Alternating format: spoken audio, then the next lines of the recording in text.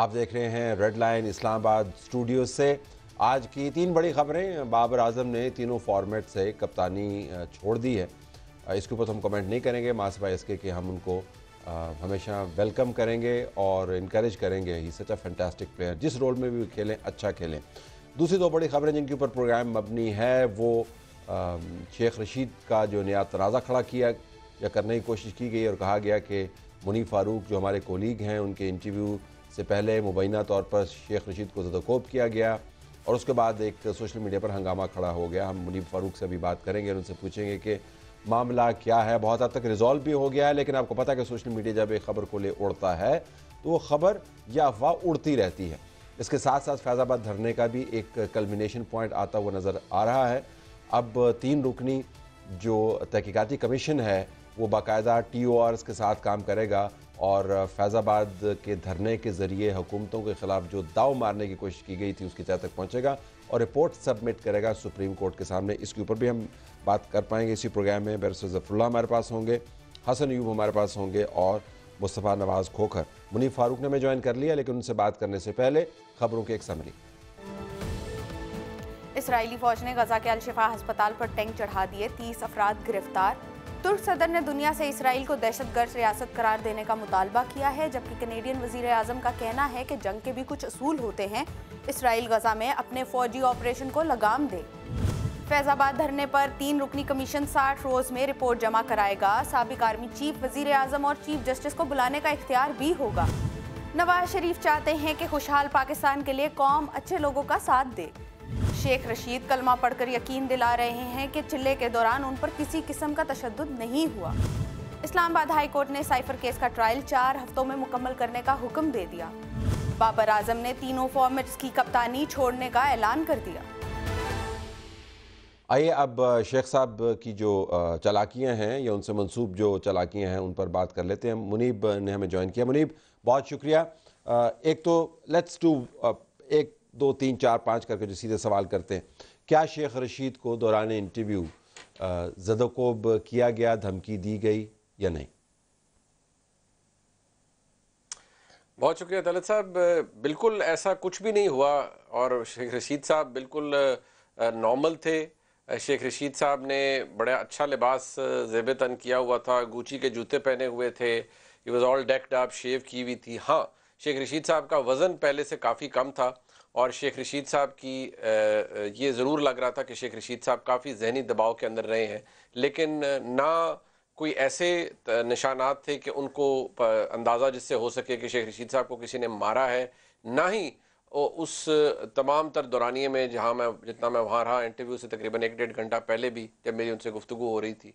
और इंटरव्यू के दौरान भी और उस इंटरव्यू के बाद जब तक जब तक मैं वहाँ से निकला नहीं तो शेख रशीद साहब को ना ही किसी ने मेरे सामने डराया, ना मारा बल्कि शेख रशीद साहब ने बड़ी तसली और तशफ़ी के साथ अपनी तमाम बातें की। और चूँकि डराया नहीं मारा नहीं कोई ऐसा वाक्य हुआ नहीं तो वो जो डायलॉग आपसे मंसूब है कि आपने कहा कि मेरे सामने शेख रशीद को साथ ऐसा ना करो ज़ाहिर है उसका भी कोई वजूद नहीं है। बिल्कुल नहीं तलत साहब और मैं हैरान हूँ कि ये चीज़ें क्राफ्ट कहाँ पर की जाती हैं या कहाँ से इन्वेंट की जाती हैं। कि शेख रशीद साहब के पास मैं गया, मैंने उसके ऊपर अपने डिजिटल प्लेटफॉर्म के ऊपर भी पूरा बताया है कि बाकायदा तौर पर मैं कब गया, कैसे पहुँचा, कहाँ पहुँचा लोकेशन तक बताई। और वो शेख रशीद साहब का या अपना घर है या उनके भतीजे का घर है, पर उनकी अपनी रेजिडेंस थी। वहाँ मैं पहुँचा, शेख रशीद साहब, जैसे नॉर्मल होता है, घर में कोई जाए मेहमान, किसी को बुला रहे थे, आओ भी खाना ले आओ आओ खाना सर्व करो, ये करो, वो करो, जैसे कोई घर के अंदर कोई भी किसी के जाए तो कोई करता है। और शेख रशीद साहब के उस पूरे दौरानिए में जितना मैं उनके साथ था और मेरे जाने से पहले शेख रशीद साहब कागज़ कलम पकड़ के उन्होंने काफ़ी सफ़े काले कर रखे थे। तो शेख रशीद साहब उसमें जो कर रहे थे और जो बात वो बार बार कर रहे थे, वो मैं आगे आपको बता भी देता हूँ, वो एक ही नुक्ता था। वो इस बात पे कंसर्न थे, क्योंकि शेख राशिद शफीक साहब भी वहाँ पर मौजूद थे, उनका नुक्ता एक ही था शेख रशीद साहब का कि मेरी सियासत बच जाए। आ, मेरी सियासत जो है वो इस पूरे मामले में मेरी सियासत ज़बा ना हो जाए और वो बली का बकरा ना बन जाए या वो बली के बकरे ना बन जाए वो उनकी पूरी जो कंसंट्रेशन थी वो सी एक नुक्ते के ऊपर थी। तो इंटरव्यू लेने वाले का मकसद भी बड़ा वाजे होता है। जब हम इंटरव्यू लेते हैं तो हमने मामले के किसी की तय तक पहुँचना होता है मालूम को डॉक्यूमेंट करना होता है जो तारीखी वाक़ात हैं उनको डॉक्यूमेंट करना होता है। इंटरव्यू दे रहा है उसके बहर मकासद मुख्तलिफ़ हो सकते हैं। तो आप ये फरमा रहे हैं कि शेख रशीद का जो मकसद था, वो अपनी सियासत को बुनियादी तौर पर बचाना था। क्या ये, चूँकि इंटरव्यू मैंने फिर दो मरतबा दोबारा मुझे देखना पड़ा कहीं पर शेख रशीद के ऊपर कुछ ऐसा असर नज़र आया, मुझे तो खैर नज़र नहीं आया बट दैट रिगार्डलेस तो शेख रशीद साहब ने इंटरव्यू के अंदर तो इस तरह की बातें नहीं की तो ये क्या इंटरव्यू के माहौल से मुतलक उनका ये ख्याल था, या आपसे उन्होंने कोई इंटरव्यू के अलहदा बात की कि यार मेरी सियासत ख़राब ना हो जाए? क्या था? जब जब मैं तलत साहब वहाँ पर गया तो शेख रशीद साहब से जैसे मैंने अर्ज़ किया कि खाना भी उससे पहले ही उन्होंने मंगाया तो गुफ्तु शेख रशीद साहब ने मुझे, मेरे साथ इसी हवाले से की। वो एक बात से खाइफ भी थे कि उनका सियासी कैपिटल या उनकी जो सियासत है, वो इसलिए कुर्बान ना हो जाए। वो बार बार एक लफ्ज़ इस्तेमाल करते रहे, वो मैं आपके सामने भी दोहरा देता हूँ। कि मुनीब साहब, आप मुझे जलील ना कीजिएगा, मुझे ख्वार ना कीजिएगा। बस मेरा भरम रख लें या मेरे लिए आसानी रख लें। और मुझसे बहुत सारी बातें जो कि इमरान खान साहब के मुतलक थी, उनके मामला से मुतलक थी। शेख रशीद साहब बहुत ज़्यादा रिलेक्टेंट थे कि उस बारे में उनसे कुछ ना पूछा जाए।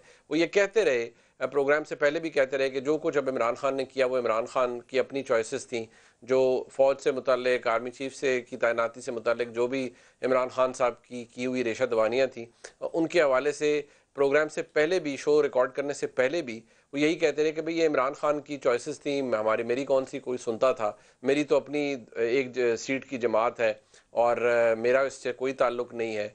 तो आप मेहरबानी कीजिएगा, मुझे मुझे रंगेदिएगा नहीं। ये अल्फाज वो हैं जो कि मैं अपनी तरफ़ से नहीं कह रहा हूँ बार बार एक ही बात कह रहे थे। शेख रशीद साहब जज्बाती थे, जहनी तनाव का शिकार थे, ये बात मैं पहले भी कर चुका हूँ और आज मैं इस बात को दोबारा कंफर्म कर रहा हूँ कि, और मैं तो ये भी कहूँगा कि जब वो चिल्ले की बात करते हैं तो मेरे ख्याल में उसकी इंटरप्रटेशन तो बड़ी आसान है कि वो चिल्ला किस किस्म का था और शेख रशीद साहब कहाँ पर थे।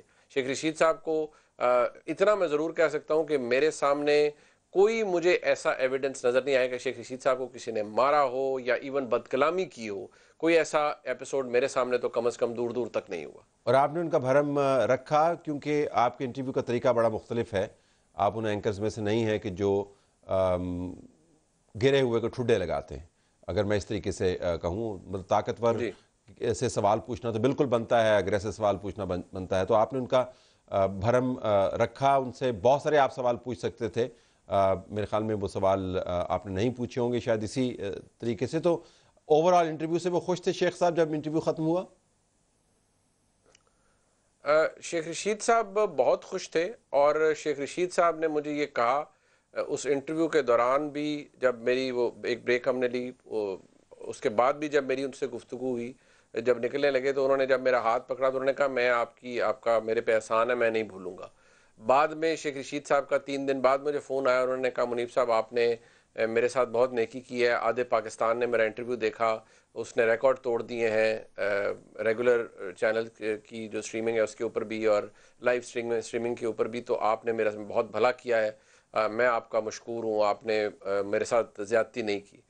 आज जब ये सब कुछ हुआ तो उसके बाद भी शेख रशीद साहब ने आ, मुझे मैसेज किया और उन्होंने कहा कि मैं हल्फन कहता हूँ कि मैंने ऐसी कोई बात नहीं की किसी रिपोर्टर से आपको पता है मैं झूठ नहीं बोलता ये उनका और ये उनका लिखा पड़ा मैसेज मेरे पास मौजूद है मैं वो मैसेज अभी पढ़ रहा था तो फिर उसी नंबर से उन्होंने कॉल भी की और उन्होंने कहा कि मैं आपके लिए दुआ भी करता हूँ कि आपने मेरे साथ नेकी की है ऐसी कोई बात नहीं है और ना ही मैंने किसी रिपोर्टर से ऐसी बात की अब झूठ फैल गया है तो उसके बारे में मैं आपसे सिर्फ़ माजरत ही कर सकता हूँ। यकीन आप बख्शे जाएँगे क्योंकि शेख साहब अब आपके लिए दुआ कर रहे हैं। आ, ये तो अब ज़मानत इसकी मुहैया कर दी है शेख साहब ने खुद ही। लेकिन हैरानी की बात है कि जब उनके पास मौका था पब्लिकली इस अफवाह को किल करने का हतमी तौर पर तो उन्होंने इसको किल नहीं किया, बल्कि जो बयान दिया वो हम सुनवाना चाहेंगे व्यूअर्स के लिए भी, और व्यूअर्स को हम ये भी बताना चाहेंगे कि हम ये क्यों बार बार बात कर रहे हैं। ये आपके और शेख रशीद के इंटरव्यू की बात नहीं है। ये उस काम की बात है जिसकी वजह से सहाफ़ी क्रेडिबल होता है, और उस वारदात की बात है जो सियासतदान अपनी सियासत को बचाते हुए कर सकता है मुमकिन तौर पर, चाहे उसके सियासत के पहियों के नीचे कोई भी आ जाए। तो हम वो तमाम मामला को दुरुस्त रखना चाहते हैं परस्पेक्टिव में। तो आइए सुनते हैं जब शेख रशीद के पास मौका था कि वो बताएँ कि हकीकत क्या है तो उन्होंने पब्लिकली क्या कहा। कल मैं की कसम खा के कहता हूँ, ये लोगों को वैसी खबरें बनाने का शौक है। ला ला मोहम्मद रसूल अल्लाह जो सीपीओ जिन, जहाँ मुझे ले गया 40 दिन वहाँ मुझ पर कोई तशद नहीं हुआ। मैंने अपनी मर्ज़ी से प्रेस कॉन्फ्रेंस की है। ना उनकी बात मानी है ना उन्होंने मेरी बात मानी है। Uh, Munib, he doesn't mention your interview. He just talks about his press conference. He says कि जो अफवाह चल रही थी वो तो इंटरव्यू के वेन्यू के ऊपर मुबैना तौर पर उनको जदोकोप करने की थी उसका भी उन्होंने ज़िक्र नहीं किया वो सी पी ओ जहाँ पे उनको ले गए वहाँ पर कोई तशद नहीं हुआ उसकी बात उन्होंने की और फिर आखिर में आके एक जुमला जड़ दिया ना मैंने उनकी बात मानी ना उन्होंने मेरी बात मानी। uh, तो आपके इंटरव्यू को से मुतलक सवाल था वाज अंदाज से वो बात कर सकते थे जिन्होंने आपके साथ पैगाम में की लेकिन उन्होंने नहीं की। आप तजियाती तौर पर इसको कैसे देखते? हैं ये शेख रशीद साहब का मैं समझता हूँ ये उस बात से कनेक्ट कर सकती है तलत साहब कि जिसमें वो अपनी सियासत को ज़िंदा रखना चाहते हैं। देखिए शेख रशीद साहब एक नहायत ही ज़ीरक सियासतदान हैं, पुराने खिलाड़ी हैं, वो पाकिस्तान तहरीक इंसाफ के वोट से हाथ नहीं धोना चाहते और वो ख़ुद को इस जगह पर रखना चाहते हैं कि जहाँ पाकिस्तान तहरीक इंसाफ का वोटर किसी न किसी सूरत में उनको वोट दे। वो ये करते हुए किसी और को इसका ईंधन बना लें, मुझे बना लें, किसी और को बना लें, चलें, ये उनकी सवाबदीद है, मैं उस पर अब क्या कह सकता हूँ? लेकिन मैं इतना ज़रूर कहूँगा, मैंने पहले भी कहा, मैं अब भी कहता हूँ कि शेख रशीद साहब को मारा पीटा बिल्कुल नहीं किया और मैं आपको इसलिए कह रहा हूँ कि नेकेड आई से आप जब कुछ देखते हैं तो आपको अंदाज़ा होता है जिस शख्स को मार पीट कर कहीं लाया जाए तो वो आ, उसकी पोजीशन और होती है। जो शख्स महज जहनी दबाव का शिकार हो या एक टेंशन में रहा हो उसकी कंडीशन और होती है। शेख रशीद साहब का मैंने आपसे पहले भी ज़िक्र किया मैं आप भी करूँगा। वज़न कम हुआ था कंसिडरेबली कम हुआ था। इट वॉज़ नोटिसबल बाकी जिस प्रेशर के अंदर वो होंगे या रहे होंगे वो भी यकीनी तौर पर वो पता था और वो जिनके जो उनके बेनिफेक्टर थे जब वो उनकी रॉन्ग साइड पर गए तो फिर तो ये तो होता है। अगर आप इस किस्म के काम करते हैं फिर शेख रशीद साहब को इसका खुद भी एहसास होना चाहिए था। लेकिन उन्होंने आज वो जो गुफ्तु फरमा रहे थे उन्होंने फिर खुद ही ये भी कह दिया अच्छा जी मुझ पर जिन्होंने तशद नहीं भी किया जी मैं उनको भी माफ़ करता हूँ फिर कहा जी तशद किया है तो उनको भी करता हूँ। फिर साथ ये कहते हैं नहीं नहीं मुझे किसी ने तशद नहीं किया। तो वो बातें अजीब मुबम सी उन्होंने की लेकिन मुझे जो मेरे पास उसका रिकॉर्ड मौजूद है जो उन्होंने मुझे बात कही और वो मौजूद है। और मैं उसको आज भी और किसी जगह पर भी ये कह सकता हूँ ऑन ओथ कह सकता हूँ कि मेरे सामने उस जगह पर शेख रशीद साहब को ना किसी ने हाथ लगाया ना किसी ने हरास किया ना किसी ने मारा पीटा ना किसी ने कोई गाली गलोच की। आ, बिल्कुल आखिर में ज़ारा इस इंटरव्यू के शुरू होते ही या आने से पहले ही आ, इस किस्म की अफवाह साजी का आगाज़ हो गया था। किसी ने यह भी कह दिया कि समा के ऑफ़िस में क्या हुआ, उसको ड्रैग करके लाया गया और मैंने बताया, फिर उसके बाद जब हकीकत सामने आई तो फिर मुँह तो खैर नहीं छुपाया, लेकिन अपनी स्टेटमेंट रिट्रैक्ट की। अब बाद अज इंटरव्यू इतने अरसे के बाद जब वो शुक्र गुजार भी हैं, फिर ये तनाज़ा शुरू हुआ। तो अभी तक सोशल मीडिया के ऊपर जो डिबेट आपने देखी अगर उसको हम डिबेट कह सकते हैं, क्योंकि डिबेट कहना भी उसको मोतबर करने के मुतरदफ है, लेकिन चले कह देते हैं। उससे आपने क्या नतीजा अखज किया? उससे नतीजा मैंने तरत साहब जो बेसिक मैं समझता हूँ जिस चीज़ को हम सब मेरे ख्याल में एक, एक बड़ा एक, एक कंसर्न है मेरे लिए क्योंकि मैं इस इस, इस फटर्निटी का हिस्सा हूँ कि जो बेसिक इशू है वो ये कि हम सब अपना प्रिंसिपल भूलते जा रहे हैं होमवर्क करने का। ठीक है रिपोर्टर ने रिपोर्ट फ़ाइल की खबर चल गई खबर हो गई खबर गलत साबित हुई डिलीट हो गई एक सोशल मीडिया प्लेटफॉर्म ने कर दी, एक चैनल ने कर दी कि जी खबर गलत थी, हम माजरत चाहते हैं। लेकिन मुझे ताजुब उन बात लोगों पर होता है जो खुद को साफ़ी कहते हैं और फिर बड़े बड़े व्लॉग्स करते हैं कि वो जो बेसिक एक प्रिंसिपल है कि रिसर्च का, ड्यू डिलीजेंस का किसी से बात करने का होमवर्क करने का, वो किसी ने नहीं किया, वो नहीं कोई करता और बैठकर फौरी तौर पर कि यार ये अब चीज़ आई है तो इसके ऊपर फटाफट एक जजमेंट पास करके ब्लॉग कर दें ताकि नंबर ऑफ़ व्यूज़ ज़्यादा हो और हम लोगों को बता सकें कि हमने कितना प्रॉम्प्टली ये किया है। और मैं समझता हूँ झूठ की बुनियाद पर अब वो असदूर ने ये किया था बट एटलीस्ट चलें। He had the moral courage to apologise at the same platform plus he called me आप इन साइड कि मैंने गलती की है, मैं आपसे माजरत चाहता हूँ। लेकिन I have I come across number of people who have done this even today और जो उन्होंने आज भी किया और वो बड़े करो फर के साथ बैठे होंगे। एंड आई एम वेटिंग कि जब उनको मैं भी कहूँगा कि भाई आपने आप गलत साबित हो गए हैं तो आप ज़रा माफ़ी मांगिए। तो I am really waiting and watching कि कौन कितने हद किस हद पे जाके किस तरह माफ़ी माँगता है। बिल्कुल आखिर में आपने कहा कि शेख रशीद ने खाना वाना भी खाया तो क्या खाया था खाने में शेख रशीद साहब ने जी मंगाया था वो को मटन कढ़ाई थी जी और को बीफ के कबाब थे प्रॉन्स थे और कोई साथ और थे कोई शायद नूडल्स वगैरह भी थी बड़ा एलेबरेट खाना था और उन्होंने वो लगाया। शेख राशिद शफीक साहब भी वहाँ पर मौजूद थे और शेख रशीद साहब उस तमाम तर स्ट्रेस के अंदर भी माशाल्लाह उन्होंने अपना खाना खाया। खाना उन्होंने बिल्कुल तनावल फरमाया। मैंने नहीं खाया क्योंकि मुझे आ, मैं समझता हूँ भूखे पेट ज़रा अच्छी परफॉर्मेंस हो जाती है लिहाजा मैंने खाना नहीं खाया था। बहुत शुक्रिया आपने मैं ज्वाइन किया तो शेख रशीद ने खाना खाया खूब थप्पड़ नहीं खाए।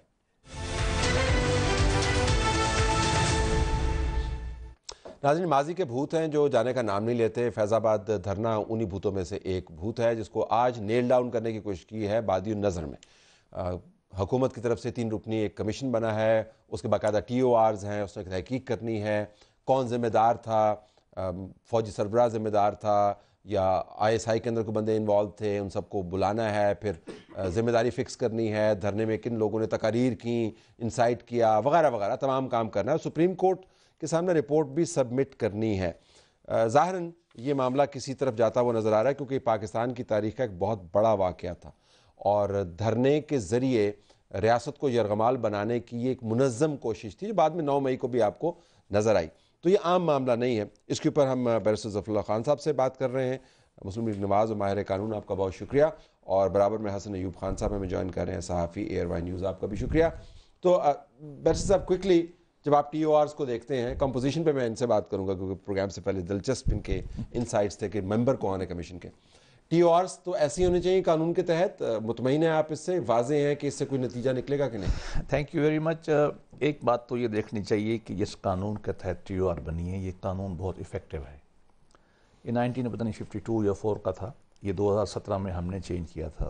मुझे खुशी है कि इसकी जो ओपननेस के सारे आइडियाज़ हैं मैंने यानी विलायत से ले आया था और हमने इसको बहुत इफ़ेक्टिव किया इस लॉ को।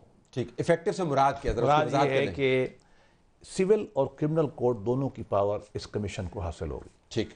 गोया कि दे कैन डू एनीथिंग किसी को बुलाना है सज़ा देनी है डॉक्यूमेंट देनी है अंदर घुसना है किसी इदारे को कहना है कि आप तफ्तीश करो। गोया कि ये एक बहुत ज़्यादा इसके पास पुलिस की और जुडिशल दोनों क्रिमिनल कोर्ट की और सिविल कोर्ट की पावर तो सिर्फ़ तहकीक करके इसने कोई डॉक्यूमेंट मुरतब नहीं कर सकता ये इसके पास बाकायदा सजा तजवीज़ भी कर सकता है या दे सकता है? सजा तो नहीं दे नहीं सकता लेकिन अगर फ़र्ज़ किया कोई नहीं आता खबर देने के लिए मालूम नहीं देता उसके लिए सख्ती कर सकता ठीक।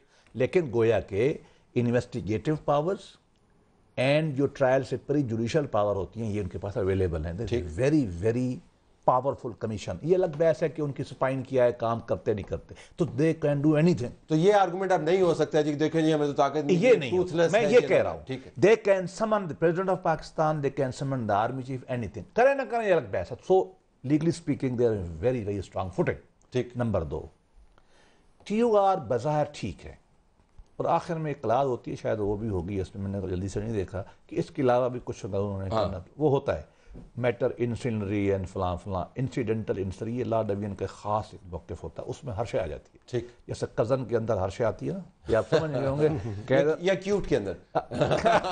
कैद यूनिवर्सिटी की सलाह है हाँ। मतलब आप अंदाज़ा ही है। हाँ। तो हर्ष है उसमें आ जाती है। सो पावर स्ट्रांग है बी इसका एम्बिट बहुत स्ट्रांग है। ठीक। तो ये दो चीज़ों की हद तक तो मैं मुतमैन मुतमैन जरा कंपोजिशन के ऊपर सर एक टी और जो शामिल कराया है चीफ जस्टिस साहब ने वो भी उसकी बात कर लें। हम्म। उन्होंने कहा कि ये रिव्यूज़ जो तमाम नजसानी की दरखास्तें क्यों दायर हुई तमाम ने क्यों दायर की इसको भी प्रूव करें और अब वापस क्यों ले रहे हैं? चीफ साहब की दिलचस्पी इस मामले के ऊपर थी। आज के जो इसके केस की समाप्त के हवाले से तो वो भी क्यूरियस हैं। कि भाई ये क्या चक्कर हुआ है कि तमाम की तमाम एप्लीकेशन आ रही हैं रिव्यू की और फिर अचानक ही वो वापस हो रही हैं। तो मैंने चीफ साहब को लास्ट टाइम आपके प्रोग्राम के वसात से बता दिया था कि वो एक शख्स ने दो तारे से तीन तारे लगाने थे। तो वो चाहता था कि मैं किसी तरीके से लेफ्टिनेंट जनरल के अहदे पर प्रमोट हो जाऊँ तो ये उसने ये रिव्यू फ़ाइल कराए थे तो ये बात चीफ साहब को पता नहीं समझ क्यों आ रही। आज उन्होंने टी में शामिल करा दी और वो जो है ना अपने जो डॉक्यूमेंट करवाना चाहते हो वो डॉक्यूमेंट हाँ, करवाना चाहते हो सर मेरा नहीं ख्याल कि क्या डॉक्यूमेंट करेगा ये कमीशन यानी देखिए तो इन्होंने इतनी तारीफ़ की तारीफ़ की है कमीशन की बिल्कुल उसके पास पावर्स हैं हाँ। वो वारंट जारी कर सकता है वो अरेस्ट कर सकता है वो देखने को तो हो। सकता है। लेकिन सर, वो जो लोग इसके मेंबर्स बने हैं, क्या उनमें इतनी स्पाइन है? बात वही है ना? कि आप इनसे उम्मीद लगा रहे हैं, ताहिर आलम साहब से लगा रहे हैं वख्तर साहब से या खुशहाल साहब से? तो सर, बात मतलब मुझे तो कुछ मतलब जो है ना डाइजेस्ट नहीं हो रही कि ये लोग प्रोप करेंगे जो फैज़ाबाद धरने के मामले में, जिसमें यानी इन्वॉल्व थे उस वक्त के डीजीसी और वो वो किसको प्रोप जाके करेंगे? वो टीएलपी को भी आपने बीच में लेकर आना है। फिर आपने कहाँ कहाँ लेकर जाना है? फिर आप जो टी को देखें ना जहाँ जहाँ तक आपने जाना है तो वहाँ पर उनको एक्सेस भी मिलेगा नहीं मिलेगा? वहाँ तक वो पहुँच भी सकते हैं। कुछ पुराने डॉक्यूमेंट्स हैं कुछ फाइल्स हैं उनको देख सकते हैं कोई रिकॉर्ड मंगवा सकते हैं। तो इनकी क्या हैसियत है सर? दांत मिल गए हैं लेकिन काटने वाले जो है ना वो वो कमज़ोर है वो कटाई वाले नहीं है। बट कुड कोर्ट जो है ऑब्जेक्ट कर सकती थी जो प्रोफ़ाइल के हाँ, हाँ, मेंबरान जो हैं लेकिन उन्होंने नहीं किया। असल में to be honest legally speaking तो कोर्ट को ये पावर ऑब्जेक्शन की है ही नहीं। ये गवर्नमेंट ऑफ़ पाकिस्तान की, मेरा तो असूल सा मौक़ है गवर्नमेंट जो भी हो, उनकी पावर इस लॉ के तहत। डेफिनेटली कोर्ट एक, चूँकि काम करा रही थी, एक सुपरवाइजरी जुरिस्डिक्शन थी तो उसमें वो कह सकते थे। मैं दूसरी बात भी ये कहता हूँ कि सर, ये इम्प्लीमेंटेशन थी माजद के साथ।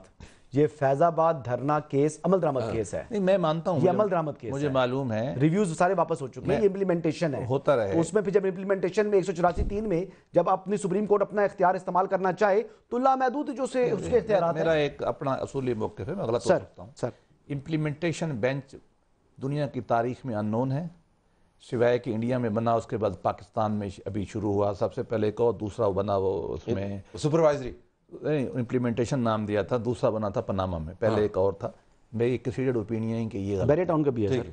जो वेटों में बाद में बने तीन चार बने हैं। एक में मैं वकील भी हूँ एक पार्टी का। आई नो दैट मैं ऐसा नहीं हूँ कि ऐसे कह रहा हूँ मेरी कंसीडर्ड ओपिनियन है उसकी वजह है मैं आपको अर्ज़ कर देता हूँ। कोर्ट का एक बेंच दूसरे बेंच को डायरेक्शन नहीं दे सकता कोर्ट में एक जज की पावर सुप्रीम कोर्ट के को इक्वल होती है ये फंडामेंटल बहस में लेकिन। पॉइंट ये अहम है कि जब हाँ। इतने अहम मामले को जिसको चीफ जस्टिस साहब खुद परसू कर रहे हैं इतने अरसे से वो लिंगर ऑन कर रहा है जिसकी सियासी अहमियत इतनी है इतने बड़े बड़े लोग इन्वॉल्व हैं और ताकत भी अब कमीशन के पास मौजूद है मेंबरान के बारे में कोर्ट को सरफे नज़र नहीं करना चाहिए था ना नहीं, नहीं, नहीं, दे वुड हैव सेड कि नॉट रियली हम मेरी राय में ये पावर नहीं है लेकिन उनके पास प्रेसिडेंट है। Precedent, जब वो व्हाट्सएप के ऊपर ले सकते हैं ये लोगों के नाम और फिर उस जिसने नाम नहीं दिए तैर हिजाजी जो था ज़फ़र हिजाजी उसका भी इंटरव्यू मैंने सुना है। पैनामा जेटी बात जो उसका हशर हुआ साइटेशन तो ठीक करें ना बैरिस्टर साहब मेरा मतलब केस तो ठीक कोर्ट करें ना जी, पनामा हाँ, इस कोर्ट के लिए पनामा में जो हुआ मैं उसका एडनी विटनेस हूँ। ऑनरेबल मैन है और हमारी हुकूमत में हमारे होते हुए हुआ जालसाजी के साथ हुआ और हम उसको कुछ नहीं कर सके। And I let me put my zameer clear to you I went to the prime minister of Pakistan I told him कि he is being hounded by these people and our ministers and our people could not save him ठीक। चलो तो वो कर तो वो कुछ सकते हैं लेकिन अब होगा क्या? जो सुप्रीम कोर्ट अगर करना चाहे तो उनको चाहिए कि उनको रेगुलरली बुला के, जैसा कि एजाजुल एहसन साहब जो है, पनामा में रिव्यू करते रिपोर्टें लेते थे ना, इस तरह उनको गाइड करते जाएँ रिपोर्टें लेते जाएँ। होगा क्या? होगा वही जो मुतलका लोग हैं। अगर वो ये चाहेंगे कि मामला कितना, किस हद तक और किसके खिलाफ जाए अच्छा इसमें एक फैक्टर और ये इतनी सिनिस्टर मंसूबा था जब ये लाहौर से चला। इधर रुक जाए। ये जो आपने आखिरी जुमला जो है बिल्कुल धीमे लहजे में कहा कि जो मुतलका लोग हैं वो चाहें कि किसके खिलाफ किस हद तक जाएँ। मैं इसी से ब्रेक के बाद वापस आना चाहता हूँ। ये ये ये कलीदी और अहम तरीन इशू है। क्योंकि आम कोर्ट नहीं है हमें ये भी बताया जाता है और हमने ऑब्ज़र्व भी किया है कि ये चीफ जस्टिस काजी फाइज ईसा की कोर्ट है। इसके ऊपर पुराने जो जबते हैं वो शायद लागू नहीं होते, इनकी एक नई सकाफत है तो ये शायद एक टेस्ट केस भी बन सकता है ब्रेक के बाद।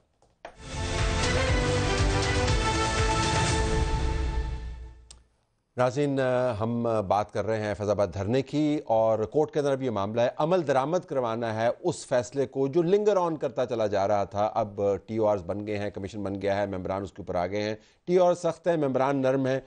सुप्रीम कोर्ट की प्रस्टीज का भी मामला है, और हमें मुस्तफ़ा नवाज़ खोखो साहब ने भी ज्वाइन कर लिया। आपका बहुत शुक्रिया। Quickly let me start with you Faizabad dharna क्या सुप्रीम कोर्ट के लिए टेस्ट केस है? बिलखसूस काजी फायजीसा साहब जिन्होंने पहली जजमेंट दी फिर उसका खमियाजा भुगतना पड़ा। अब वो चीफ जस्टिस के अहदे पर फायज है। Is it test case for them या नहीं? It's test case for the country I think कि उसमें आपने ये चीज़ कभी ना कभी तो तय करनी है कि जो डेमोक्रेटिकली इलेक्टेड गवर्नमेंट्स हैं अगर उनको कोई डिस्टेबलाइज करने की कोशिश करता है और इतना ब्लेटेंटली करता है तो दे हैव कॉन्सिक्वेंसेज तो फिर होने चाहिए। ठीक। हमारे यहाँ कभी कॉन्सिक्वेंसेज नहीं होते इसी वजह से ये आज हम जो सूरत हाल से गुजरते आए हैं पिछले छिहत्तर साल से कि किसी को परवाही नहीं होती। और इसमें जो अहम चीज़ है मेरे नज़दीक वो ये है कि जो दो महीने की उन्होंने टाइम लाइन रखी है दो महीने का टाइम पीरियड साठ दिन में। और अ, उनकी अपनी माजी की जजमेंट और डायरेक्शन और डिक्लेरेशंस जो उन्होंने दी हैं। और फिर अब इसका जो टू दो महीने का पीरियड है वो खुद वहाँ पर मौजूद होंगे तो ऐसा नहीं होगा कि कमीशन इस चीज़ को कोई डिले कर सके या कोई साथ वाली गली का रास्ता इख्तियार कर सके। यानी उसने उसको पास दे दिया उसने उसको पास दे दिया एक्सटेंशन हो सकती है। तो ये मुमकिन शायद ना हो और अगर एक्सटेंशन हुई भी तो एक बड़े लिमिटेड पीरियड के लिए हो, के, लिए होगी। तो नज़र यही आता है कि जब तक वो चीफ जस्टिस हैं जब तक वो उस कुर्सी पे बैठे हैं वो इस केस को अपने मंतकी अंजाम तक पहुंचाना चाहते हैं। बैरिस्टर साहब ने कहा था मुतलका अफराज जो हैं वो अगर चाहें तो तो मुतलका अफराद कौन होंगे? ज़ाहिर फिर मौजूदा आर्मी चीफ होंगे सर मुतलका अफराद की बात तो उनको तो मालूम ही मालूम है कि क्या मामला हुए हैं। सबको मालूम है कि टीएलपी को कौन लाया था किसने बिठाया था किसने फंडिंग दी थी उसका मकसद क्या था ये सबको मालूम है। यानी जो अब अब बेसिकली हम सब लोग मासूम बनने की कोशिश करते हैं। ज़बरदस्ती के मासूम बनते हैं। प्रोग्राम भी करने होते हैं ना। जी। ये बात भी सही कह रहे हैं। We have 38 तो ये- minutes to fill. तो हम वो सबको वो वो तो शख्स कौन है वो सबको मालूम है। और फैजाबाद से मुतलका मुतलका जितने भी जो इलाके हैं वहाँ पर उसका मुकम्मल कंट्रोल था। फैजाबाद से मुतलका इलाके जो है ना आप थोड़ा सा फैजाबाद से आगे जाए जी, जी, ना, बिल्कुल, बिल्कुल। तो वहाँ पर भी उनका बड़ा कंट्रोल था। तो वहाँ से एक दफ़ा पुलिस ने जब चार्ज किया तो सुना कि पुलिस उनको जो है वो ऑलमोस्ट उन्होंने उनको रिमूव कर दिया था। लेकिन अचानक फिर कुछ लोग आए। जत्था आया जत्था आया। और वो सोहान वाले गाँव। वाले साइड से। तो वहाँ से फिर वो अचानक पसपा हुई पुलिस फिर पुलिस भागी फिर आई एट वाली तरफ़ गई फिर सब कुछ हुआ। तो ये पुराने basically में होता ना कि जब फैज़ाब- इख्तियार करे, हो रहे थे। खुदाई मदद आती थी। वो टीएलपी वाले फैज़जाब हो रहे थे। पता नहीं को फैज़जाबी ताकत उनको मिल गई पता नहीं क्या हुआ किस तरीके से वो फैज़जाब हुए लेकिन वो फैज़जाब हुए दुनिया ने देखा। हमारे कैमराज ने दिखाया। तो ये एक ओपन सीक्रेट है तो इस बात पर open हम सब मासूम बन जाते हैं। uh, open secret को आपको लीगली नेल डाउन करना हमने पिछले प्रोग्राम में भी इसके ऊपर बात की थी कि आपकी तरफ़ से यानी आपकी जमात की तरफ़ से अगर कोई तड़ दिखाया जाए तो कहते यार यार देखें ये ये हुआ है। ये पब्लिक टेस्टमनी है हमारी ये एविडेंस है इंटीरियर मिनिस्टर करते हैं प्राइम मिनिस्टर उस वक्त के करते जिन लोगों से रिजाइन करवाया गया वो करते। वो आपने नहीं किया तो चली जा रहे हैं हम भी प्रोग्राम किए जा रहे हैं कोर्ट को आपने वक्ता डाला हुआ है। जाएँ जाके डिपोज करें कोर्ट के सामने कहें जी यह हुआ है। अगर वो बुलाते हैं नहीं चले जाए ना। हाँ नहीं जाना चाहिए। बिल्कुल जाना चाहिए। वैसे भी तो आपका बंदा कोर्ट की हर हियरिंग में मौजूद होता है इमरान खान से मुतलक जो भी होती है। नहीं मेरा ख्याल है जो मुतल लोग तो अगर बुलाएँ तो उनको जाना चाहिए और बात उनको सही करनी चाहिए। ठीक। अलबत्ता अ, मुझे इतना पता है कि जब वो धरना लाहौर से शुरू हुआ था उसके जो पहले मुजाकरात हुए उसमें जो रिज़ाइन करने वालों की लिस्ट थी उसमें मैं भी था कि ये जफुल्ला खान कादियानी है वो पता नहीं सर जफुल्ला खान होते थे। अब मैं अल्लाह एक मजहबी आदमी हूँ और मेरी शनाख्त है। तो उनको कहा गया राना सनाउल्ला साहब की तरफ़ से कि यार तुम लिस्ट दे रहे हो पता तो कर लो कि उसकी जान को ख़तरा डालते हो। वो तो पीर है मुल्तान का और मजहबी आदमी है और तुम्हारे फलां उस्ताद का शगिर्द है। आम सईद कादमी मुल्तान के बरेलियों के बहुत इमाम गुजरे हैं। वो ओपन सीज़न सीज़न था फतवा मेरा नाम ओपन सीज़न। मेरी मतलब मेरा इतनी जान खतरा थी मेरा मेरा नाम वहाँ उन्होंने मेहरबानी की मैं तो रिजवी साहब को सलाम करता हूँ। कम अज़ कम मेरा नाम तो उन्होंने काटा था। नाम जो है ना वो फिर जो कौन तबादला हो अ, क्या होगा रिज़ाइन कौन करेगा वो जो बातचीत कर रहे थे उनको ही बुलाया जाए। मेरी तो पक्की ख्वाहिश है कि हमारे पास तमाम डॉक्यूमेंटेशन अगर होनी हो, चाहिए। हो, हो जानी चाहिए। होनी चाहिए। सो तो ज़िम्मेदारी काफ़ी सारी जो है कमीशन पे नहीं है कोर्ट पर भी नहीं है। जो हुकूमतें जो थी और राना सनावला साहब ये भी है कि वहाँ से चले कैसे? तमाम जो है वो रुकावटें अबूर करते हुए फलांगते हुए यहाँ पे आके Punjab government gave them a free pass to free pass. Agreement हुआ था। Agreement is a free pass ना जी? मेरा मतलब सबसे बड़ा ये तो सर एंड में साइन किसने किए थे? वो भी देख लें। वो भी देख ले। वैसे उन्होंने पंजाब से जब चले थे ना उन्होंने एग्रीमेंट में ये किया था कि हम बहरा करके चले जाएँ टू बी ऑनेस्ट आ जाए आए बयान करें। वो मैं तो कहता हूँ यहाँ आके उनसे शायद किसी ने कहा था कि बैठ जाओ।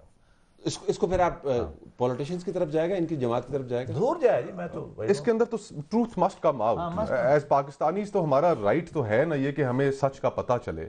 लेकिन फिर इसमें एक अगला मरला फिर आएगा तलत भाई और वो होगा उसकी इम्प्लीमेंटेशन का। Whatever the recommendation come उनकी इम्प्लीमेंटेशन हो भी पाएगी या नहीं हो पाएगी अगर हम माजी में देखें तो इसी तरह की एक और चीज़ भी सुप्रीम कोर्ट के सामने लोगों ने आके बयान दिए असगर खान केस। जी। असगर खान केस के अंदर फैसला मौजूद है सुप्रीम कोर्ट का। आज तक इंप्लीमेंट नहीं हो सका। उस केस के अंदर वो तमाम किरदार जिन्होंने 1990 का जो इलेक्शन था, जो बेनजीर भुट्टो से उन्होंने चुराया, वो आके उन्होंने डिपोज किया कोर्ट के सामने और यहाँ तक कह दिया, आज भी फ़ाइल के ऊपर उनके ये अल्फाज मौजूद हैं कि हमें कोई शर्मिंदगी नहीं है। अगर हम दोबारा हमें मौका मिलता तो हम सौ दफ़ा अपने मुल्क के लिए ये करते। ये आई मीन इस तरह की बातें भी मौजूद है। और आज तक वो इम्प्लीमेंट नहीं हो सका।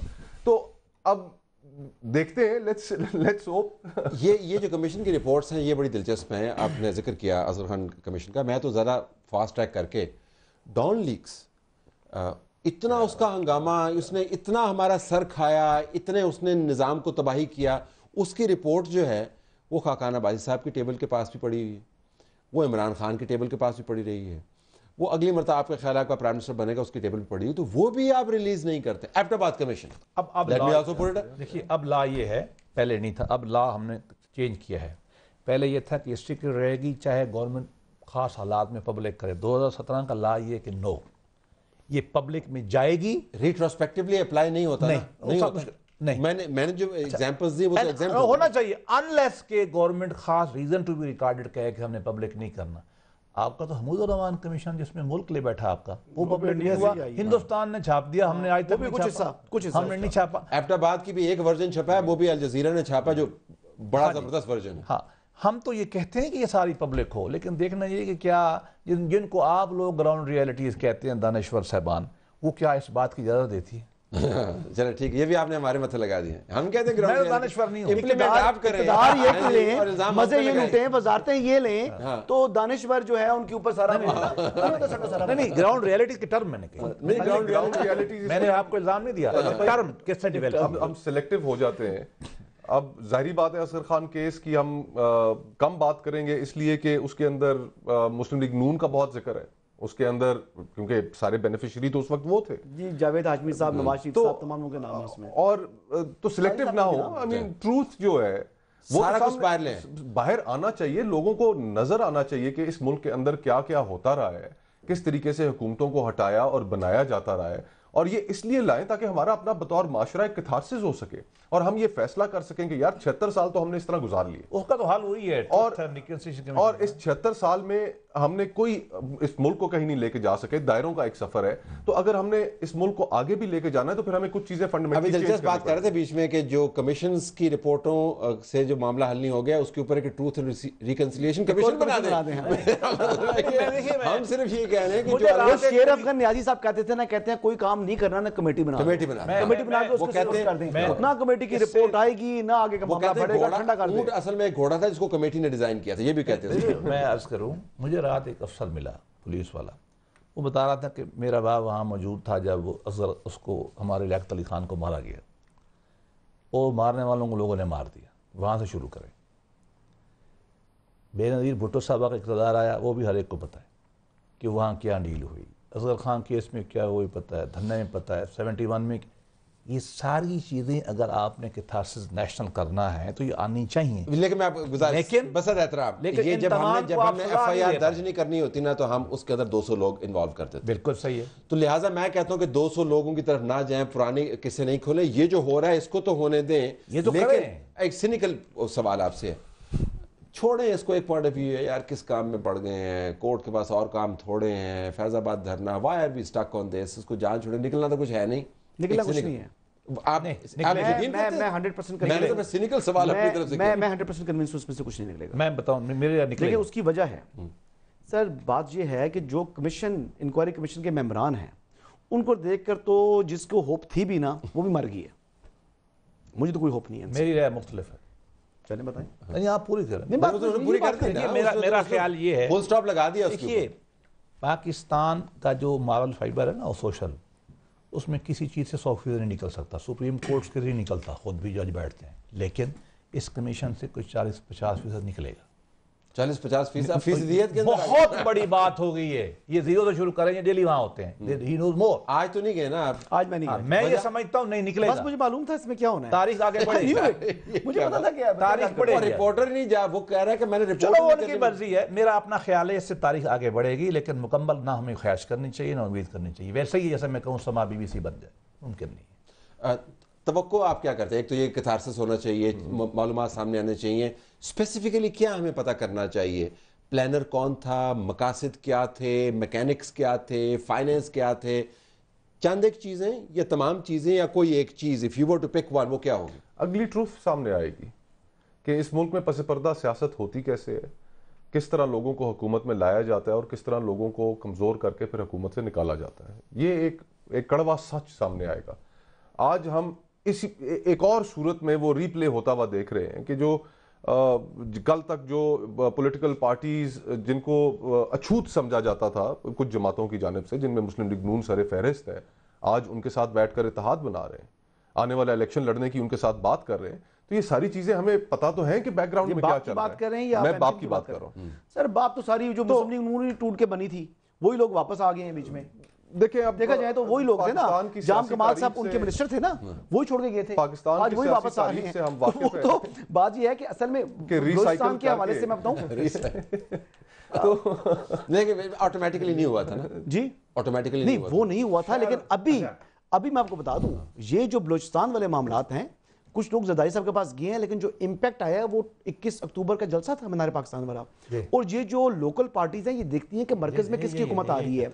ये उसकी तरफ़ देखती हैं वो पीपल्स पार्टी में जाकर रिवर्स गेयर लगा लेकिन बैनर साहब जरा एहतियात से इस ज़मीन पे एहतियात से चलिएगा तो फिर आर्गुमेंट ये भी है कि जब बाप बनी थी तो उन्होंने फिर इमरान खान के जलसे देखे तो उन्होंने कहा कि छड्डो नून नू बिल्कुल सही है। सही होता है मैं तो उस वक्त जेनवनली बनी थी क्या बाप? नहीं नहीं एक लतीफ़ा सुनाऊं हाँ, नहीं लतीफा नहीं इसका तो जवाब लतीफ़ा है। शायद खान साहब और मैं कोई लतीफ़े का मतलब वो नहीं हो जो हाँ, पाकिस्तान मतलब सियासी लतीफ़ा। Subtle point. Latifa mean subtle point शायद खान साहब और मैं वहाँ। बातचीत करने इन सबसे। जब ये छोड़ के जा रहे थे? हाँ। हम वहाँ बैठे रहे हमें मिला ही कोई नहीं। क्योंकि सारे कहाँ पे थे? हमें पता है। नहीं बताए ना। सुना है कोई कैंट में कहीं बैठे हुए थे। तो उस वक्त की एस्टेब्लिशमेंट ने सब चीज़ें की ना? अच्छा प्राइम मिनिस्टर को हमें कोई मैं तो कानून के लिए गया था अगर करना क्या है कोई मिला ही नहीं। क्योंकि शायद खाब साहब एक दफ़ा बता चुके हैं इनके जो इनके लोग टूटे थे। यानी वो बैठे हुए हाँ, वो हमें बताया गया था डॉक्टर मालिक साहब के लोग नहीं टूटे।